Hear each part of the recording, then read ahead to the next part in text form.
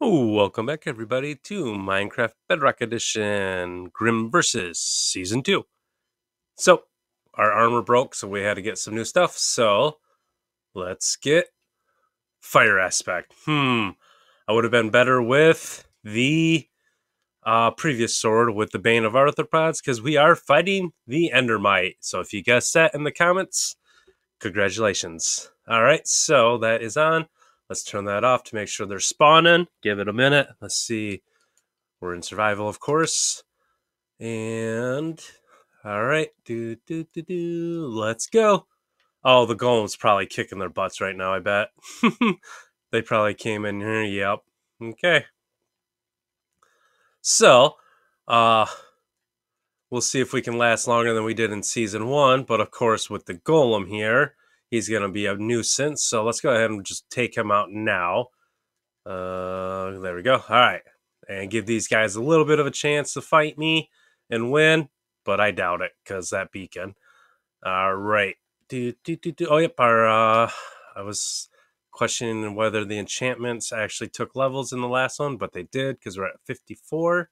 So that's good to know.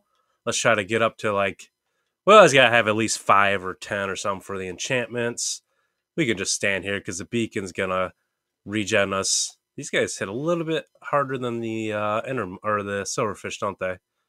Yeah, they take like a wow. They take a decent amount of damage. Okay, so we're gonna do the same, kind of same concept. Just let them beat us up for a minute. You know, damage our armor.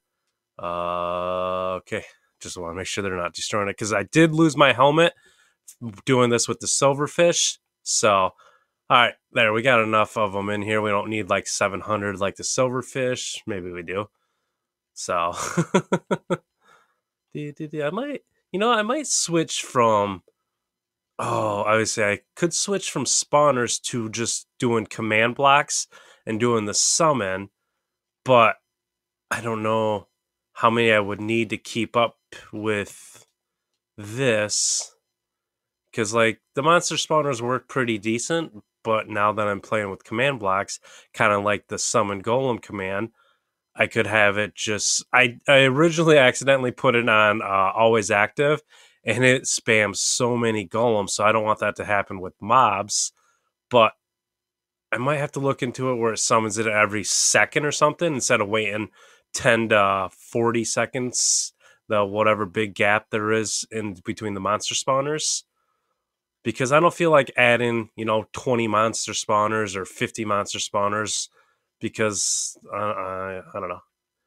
We might still have like a big gap. Whereas with command blocks, I could just set it up to, you know, every one second or every two seconds or whatever I felt like it.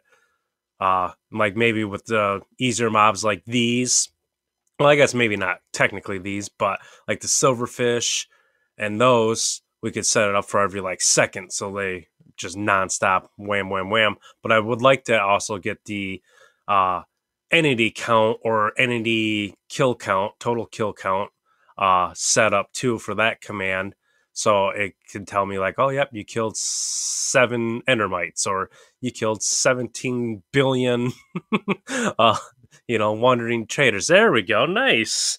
And we didn't even have to let the golem kill us. All right, so that's the end of this episode. Please leave a like, please subscribe, please comment on what is the next mob or monster that we may be fighting. Um, I truly appreciate all you guys that take your time to watch this and watch all my other content and support me. And again, if you're new here, please subscribe. I truly appreciate you guys. Let's get up to the uh, subscriber count for this month. I truly appreciate you guys. Thank you so much. See you in the next episode. Bye.